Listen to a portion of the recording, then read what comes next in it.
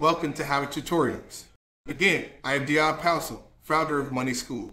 In this video, I'm going to show you how to use SuperDOM in NinjaTrader, a tool that you can utilize to analyze your trades and improve your performance.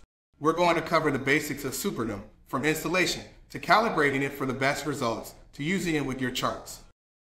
To open a new SuperDOM window, select New, then SuperDOM from the NinjaTrader Control Center. You may see a few options here. If so, both windows will provide all the functionality I'll be discussing in this video. It's important to first select the instrument within the SuperDOM. Use the instrument dropdown or lookup window to add a trading instrument. Although the E-mini S&P 500 or ES from the pre-configured futures instrument list.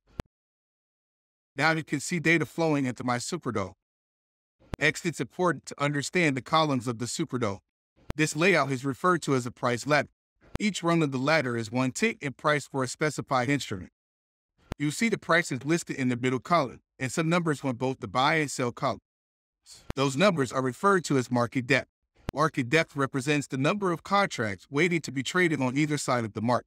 So you can see where there's significant buying or selling pressure by looking at these numbers. Additionally, the buy and sell columns of the price ladder function is order entry button. I'll cover this in detail in a moment. There are two buttons located at the bottom of the SuperDOM that say market. These buttons allow you to place buy or sell market orders.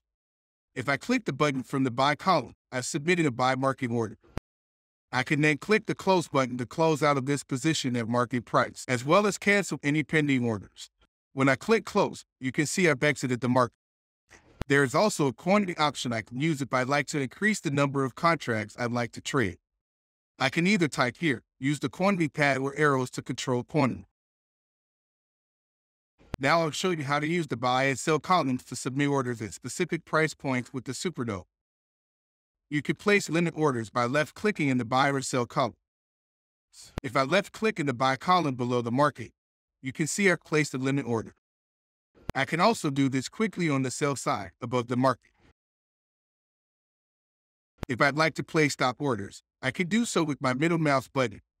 Middle mouse clicking above the market on the buy side or below the market on the sell side will submit a stop limit order. If I'd like to use a stop market order rather than a stop limit order, I'll simply hold the control key on my keyboard while middle mouse clicking. So, for limit orders, you'll use a left mouse click. For stop limit orders, middle mouse click and for stock market orders, hold the control key and use the middle mouse click. Additionally, you can submit a market if touch order by holding the control key and left mouse clicking. Some traders prefer to use market if touch orders rather than limit orders at times. Okay, now you have learned about how to open and use SuperDOM in NinjaTrader. Thank you for watching. If you enjoyed this video, please don't forget to like, share, and click the red subscribe button below. Hit the notification bell to be notified for more videos.